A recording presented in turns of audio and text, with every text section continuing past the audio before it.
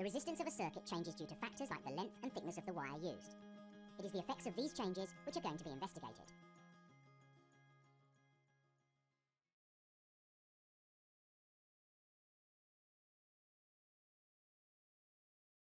To measure how the resistance of a wire changes, the current, which is measured in amperes, and the potential difference, which is measured in volts, should be recorded. Wires are used to connect the voltmeter and ammeter to the power supply.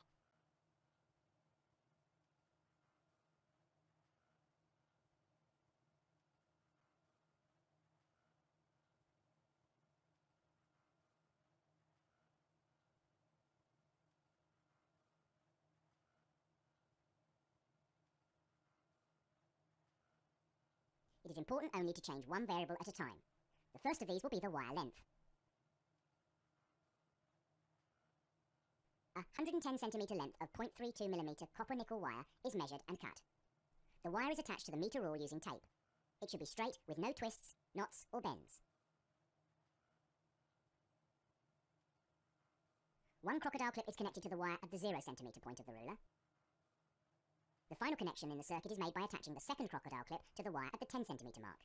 By doing this, the wire in the circuit is effectively 10 centimetre long. Before the circuit is switched on, check carefully that it is set up as shown in the diagram. Make sure a results table is ready to record the data.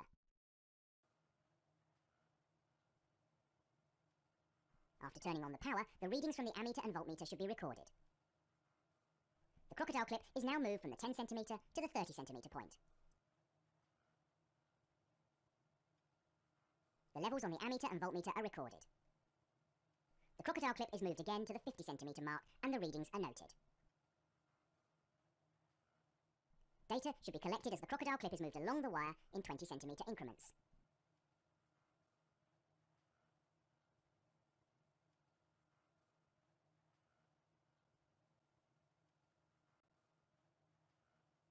The resistance of each length of wire can be calculated using this equation.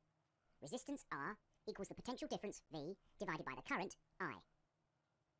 The results table is completed using the calculated resistance for each length of wire. Now, all the data has been collected. A graph of the results can be drawn. The independent variable, wire length, is plotted on the x-axis, and dependent variable, the resistance, on the y-axis.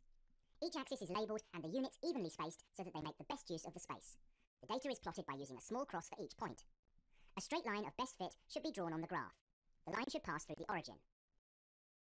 Other variables can now be changed to see how these may affect the resistance in the wire. This time, the material being used has been changed to copper, but the wire thickness is the same. Wires of different thicknesses or other types of metal, for example steel, could be used.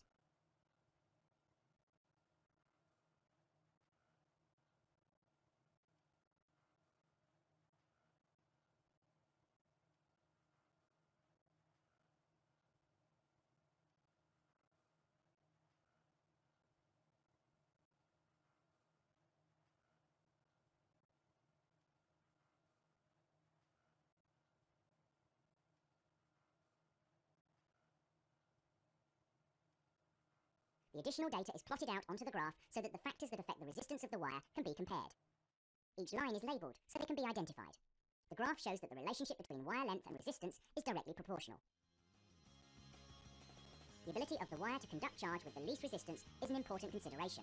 However, the best conductors are often the most expensive, and as materials heat up, their resistance increases.